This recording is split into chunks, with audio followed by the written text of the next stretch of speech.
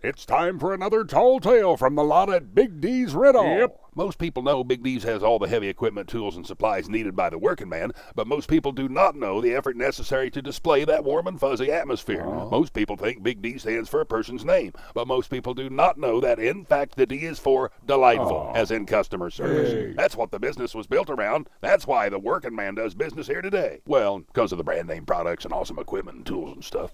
Big D's Rent All, East 22nd in Hays.